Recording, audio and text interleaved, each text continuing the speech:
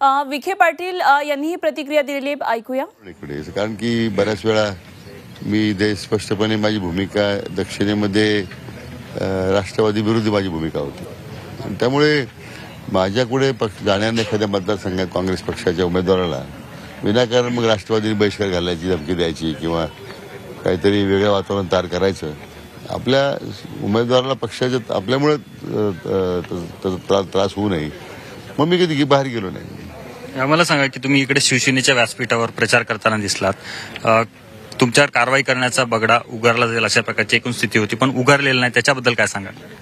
नाही कसं आहे की भूमिका शिवसेनेच्या बद्दल मी त्या आमचे सहकारी सगळे होते आणि त्यावेळी मी एक सहकाऱ्यांच्या बरोबर मी एका ठिकाणी गेलो मी बैठकीला. परंतु एक असं आहे की मला राजकारणातली संदिग्धता पण काही ठेवू नये या मतात मी असल्यामुळे.